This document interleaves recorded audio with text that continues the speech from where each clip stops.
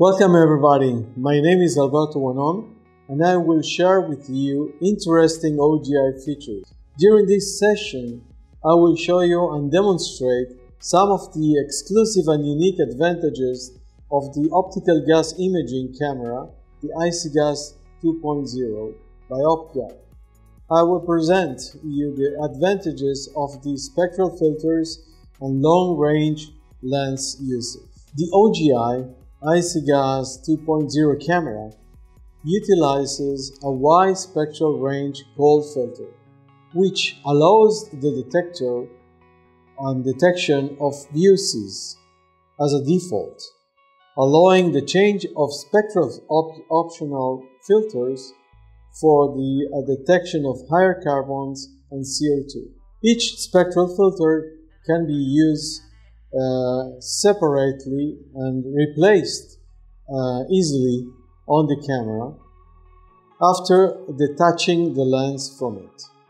I will show first how we can detect uh, alcohol gel gas which is uh, demonstrating VOC uh, leak uh, from my colleague on his hands. So I will have the camera. Okay, now my colleague is uh, getting some uh, alcohol gel in his hands and we can focus his hands and see how the gel, which is uh, an example of VOC gas, are coming out from his hands. This is in normal mode. We can go to the enhanced mode where it's even more clear and we can switch to the thermography mode and see the gas coming from his hands. So this is the example where we can use uh, the normal uh, default filter for VOCs. What we are going to do now is we are going to replace the filter uh, to a second one which will uh, be, be, able to detect CO2. So what we do first, we take out the lens and replace the filter. This action uh, can be uh, uh, trained to any of the operators. So we have a tool, we have a kit with filters and a tool where we can open the use filter for a new one. And this is the way that we can uh, change the spectral band of detection while we are still keeping the uh, uh, existing uh, wide range on the cold filter which is in the detector inside. So with this we can change to a second filter which will be the CO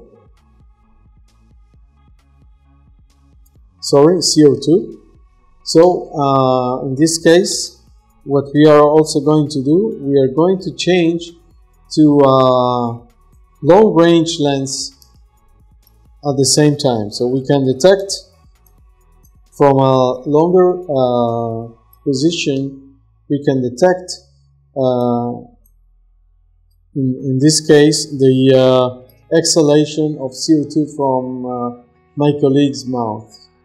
So this is the replacement of the filter. We lock it in and we use the long range lens to be able to see uh, the image even even uh, closer so as you can see the camera is still working we can just change the lens of course, of course we keep the camera on our shoulders uh, we perform a NUC to the camera because we replace the lens. This is only the only thing that we need to do. And whenever it's ready, we are able to uh, just uh, detect the CO2. We can uh, focus. Okay, still we are in a room, so it's very close.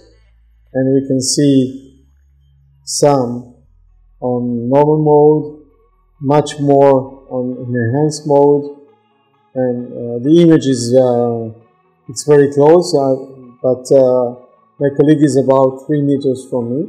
We can go to the uh, thermography.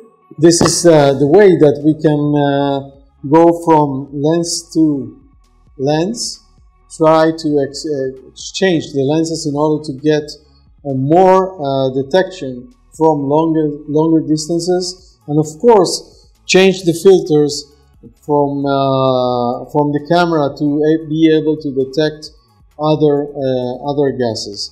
There is another filter that we can use for higher carbons, and um, so in terms of filters, uh, we have three different options.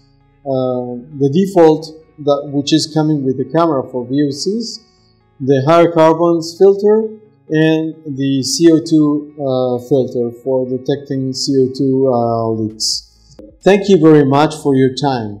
Visit us for more information in eyecgas.com.